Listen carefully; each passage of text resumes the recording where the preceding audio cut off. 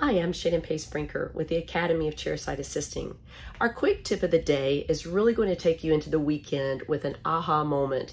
And when I say that, I learned this from Dr. Robert Korman.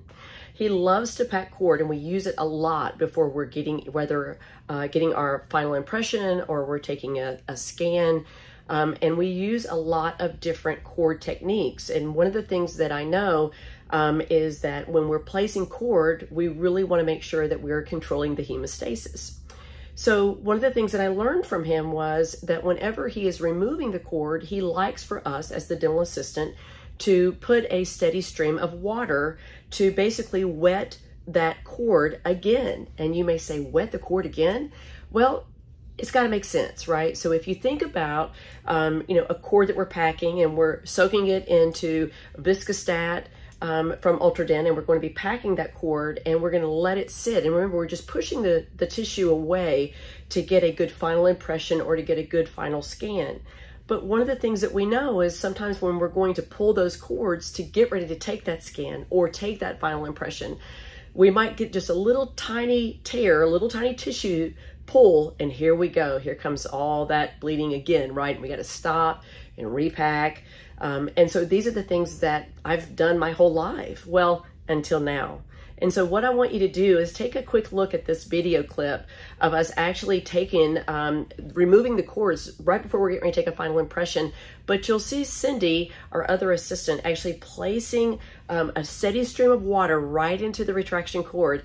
And I will tell you, it just, it's going to be an aha moment for you because it was for me. So I hope you'll get excited as I will uh, to deliver this quick tip of the day on behalf of Robert Korman.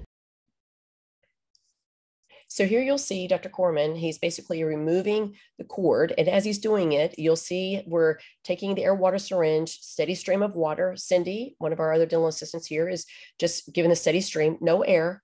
So as he's pulling that cord, um, re-wetting it, you're not seeing the little pulls of, of weepage sometimes that we'll get, you know, and again, pulling the dry cord, we've always done that. You know, we've never re wet the cord when we're um, pulling that to take a, a, final impression or a digital scan. And uh, I would tell you, I think it's genius, you know, and I wish I would have thought about it a long time ago. Um, but it makes so much sense. And so by wetting that cord, it makes it a lot easier, first of all, for him to remove it. But most importantly, um, we're not pulling any of the tissue and starting that bleeding again and then have to go back and repack the cord, which we have done before, right? Um, and so again, you'll see here where he's he's able to get a really good, amazing final impression. Um, and again, no bleeding going on here. And this is exactly what we want. And so I hope you enjoyed this tip of the day on behalf of Dr. Korman and the Academy of Chairside Assisting. And thanks so much to Cindy, his dental assistant.